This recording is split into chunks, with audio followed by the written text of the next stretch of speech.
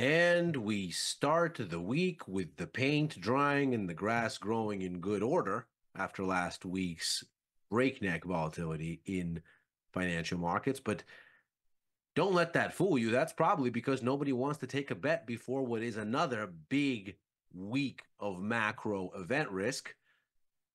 Nobody really wants to stand in front of it, it would seem. So, what we're going to do is figure out what this macro event risk is and how it's going to perhaps impact financial markets from stocks to bonds to rates to currencies here. This is Macro Money. I'm Ilya Spivak, head of global macro at Tasty Live. And we are going to take a look at uh, first the round of US event risk that's uh, on the docket because there's quite a lot of it. Um, and then take a look at some stuff outside of the US as well, uh, in Europe and in China. that should be uh, very interesting. In fact, even a little bit uh, from Canada, uh, in so much as it drives what we can think about the US economy here. Uh, and so try to figure out where we are for these markets as we proceed, because it does appear like we are at a key inflection point. Let's begin in the US uh, then. We are, needless to say, overwhelmingly focused on the US CPI, Consumer Price Index inflation uh, data. It is expected to give us a little bit of a faster pace of inflation at the headline number. 3.4% there uh, would be an uptick uh, from the prior reading, um, where it uh, came in at 3.2%. Um, and so we would be looking here at um, just kind of a wiggle higher. Uh, as we can see, uh, this metric has really been kind of anchored around these levels for a few months. Meanwhile, at the core, which excludes food and energy, a decline down to 3.7%. And uh, to put that in context, uh, that would be the lowest reading on this since April of 2021. So at the core, it looks like disinflation is expected to proceed in uh, good order. And this is really the quintessential question for the Fed.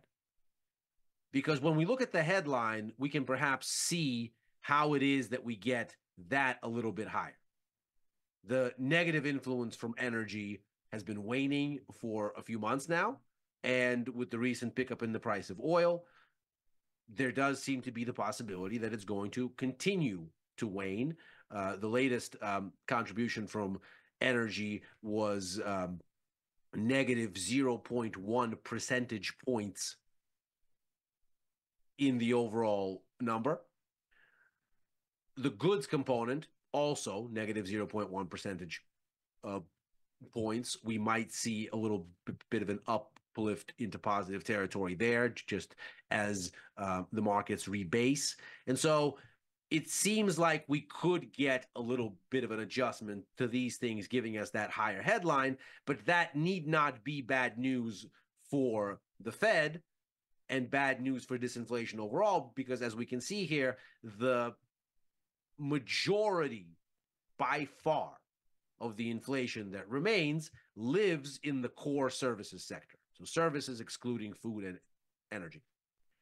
And needless to say, a big component of that is housing, and there's nothing that the Fed can really do about that because they've largely been the ones that have locked that market for both buyers and sellers with a rapid uh, policy of rate hikes meant exactly to deliver the disinflation that we see here.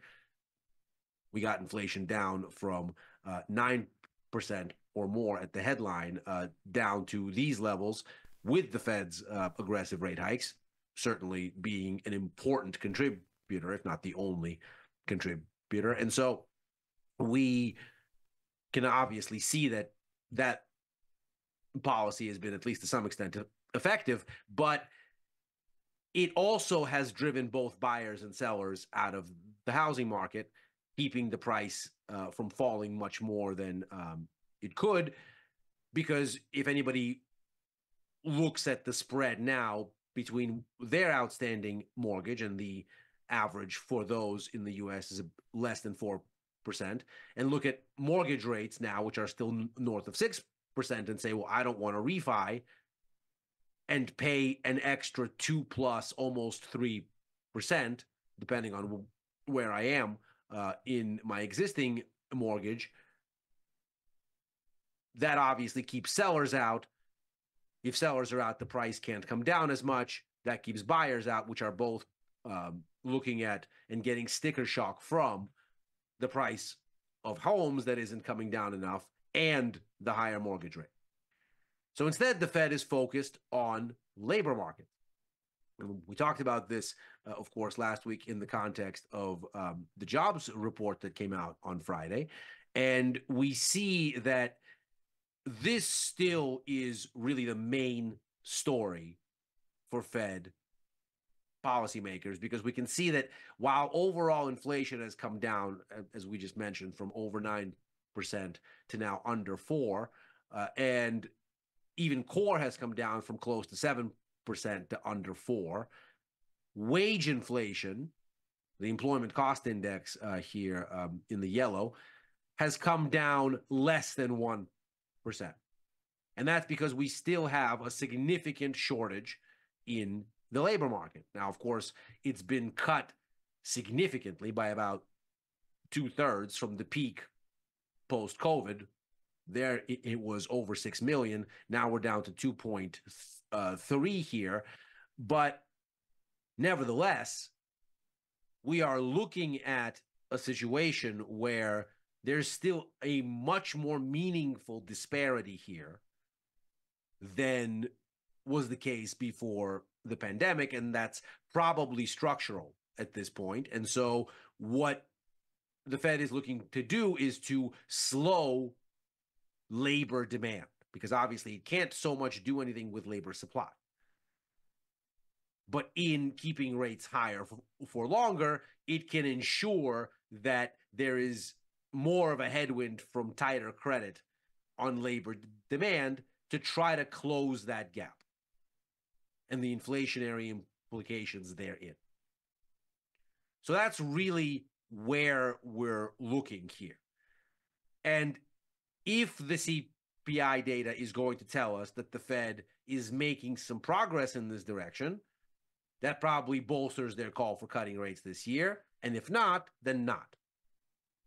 Now, of course, this is defining for financial markets because we can clearly see they've pointedly stopped rallying as we've gotten the market's own view of where policy is going to rest on the hawkish side of the Fed's outlook. So we can see here that this rally that begins for us late October, early November starts as the amount of rate cuts in the system starts to swell. The gray bars here, Fed funds futures expectations for how many rate cuts we're going to get in 2024.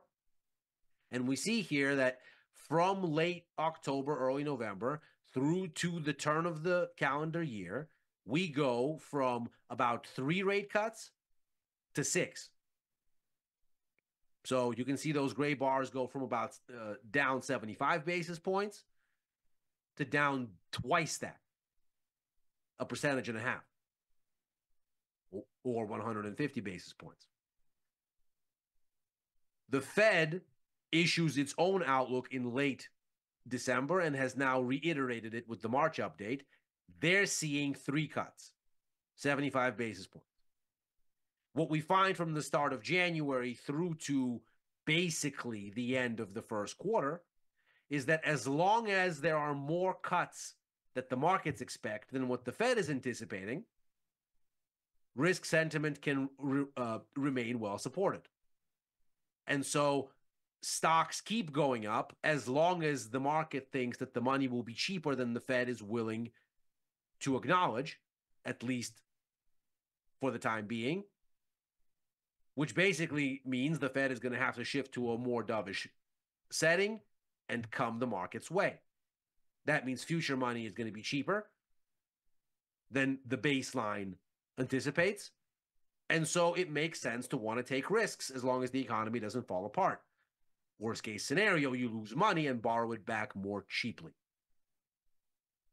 That sort of tailwind for risk sentiment goes away as soon as you durably get on the other side of the Fed outlook. So we can see here once you make it over to the other side and the market is starting to bake in fewer cuts than the Fed, the S&P stops. It has now basically stopped rallying for the better part of 3 weeks. The Nasdaq, which is a little bit more rates sensitive, has been at a standstill for almost 6 weeks. And so we're looking at a situation now where the Fed is only expected, according to the markets, to deliver 53 basis points in cuts. That's two cuts and a very slight probability uh, of a third. If this CPI data comes out on the hot side and signals the market is right, the Fed is wrong, then credit is going to be more expensive in the future. The Fed's going to have to adjust to that reality that probably is negative for stocks. It's probably positive for the US dollar. It likely shifts the yield curve where the two year yield goes up. If there is risk aversion, it may not necessarily be the case that it also shifts up long end yields because if capital flows to safety, long end bonds could actually be better supported than the front end and whether that haven bid overpowers the adjustment in the overall rate structure to a more hawkish setting, we'll have to wait and see. And then, of course, if the data does suggest that the core side continues to disinflate, as is what is uh, expected, despite whatever uh, shenanigans at the headline because of energy, then maybe the markets get a little bit of a endorsement of the Fed's desire to want to cut. Rate cut odds come back out a little bit. Stocks can keep going higher. Dollar weakens some, etc. Now, if we look at the way that U.S. economic data has performed relative to expectations, the argument for an upside surprise seems compelling. This is data from Citigroup showing that U.S. economic data has started to reaccelerate relative to forecasts and is tellingly pushed through the 20 day moving average on the surprise index, which typically is some indication that there's follow through in whatever direction it's going. So you can see when it is going up, then breaks through, it tends to go lower. When it's going down and breaks up, it tends to head higher. We saw that here as well and here. So the setting here seems to be that the US economy is still outperforming wherever analysts' baseline forecasts are, which makes the case for CPI coming in hotter. However, last week we saw the ISM manufacturing and service sector uh, survey, and the manufacturing side is, of course, a minority of the economy, only about 20%. The service side is the majority. It was exceedingly weak. And most importantly, its prices component, which tends to lead overall CPI by about three months, fell to the lowest level since the COVID low from uh, early 2020. Now, that does set up a little bit of a pop in CPI here, but it also sets the stage for significant disinflation to follow. It's also the case that if the Fed is most worried about wage inflation, that the numbers we got from average hourly earnings, which actually continued to decline and came down to 4.1% in Friday's jobs report, set up a lead for the overall employment cost index to continue to go down. And so the wage inflation story actually seems to be in the Fed's favor. So perhaps the core does comply and then rate cuts can occur.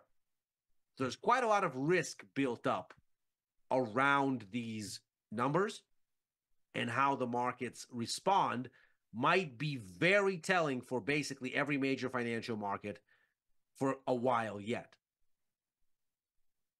Outside of the US, the main story is going to be a monetary policy announcement, shock of shocks, from the European Central Bank.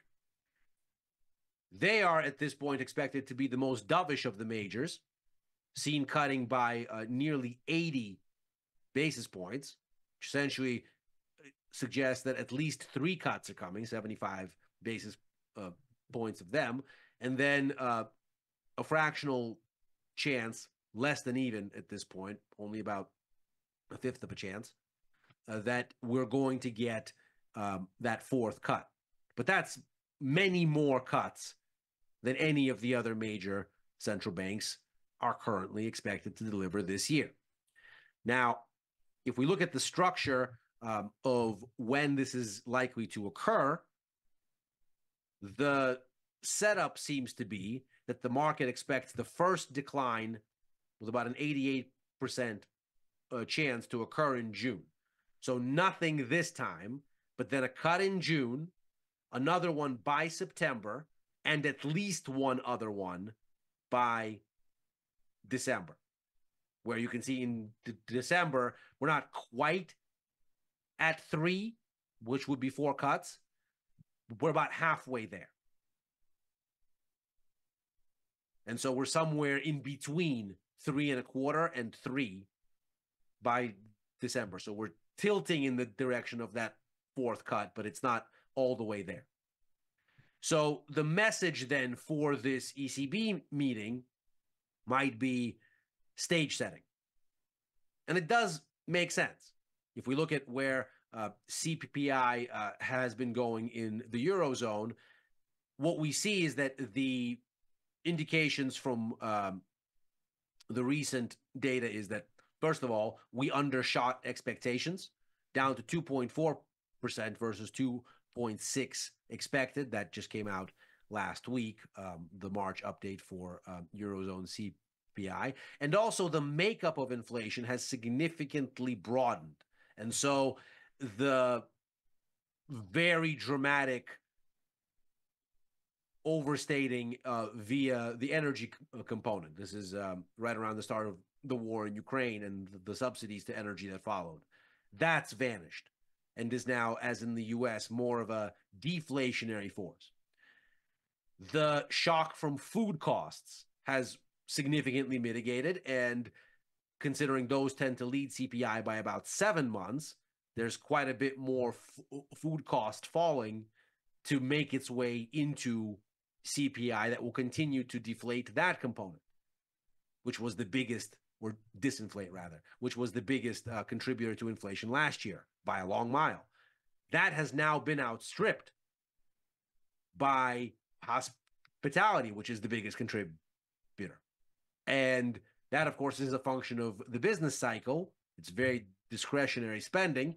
And with an economy that's been contracting for nine consecutive months or eight consecutive months until this most revised um, CPI or uh, PMI data, uh, rather, uh, for March, allowed for the possibility that maybe we've reached standstill in the Eurozone, not growth with any kind of vigor, uh, then discretionary spending should unravel.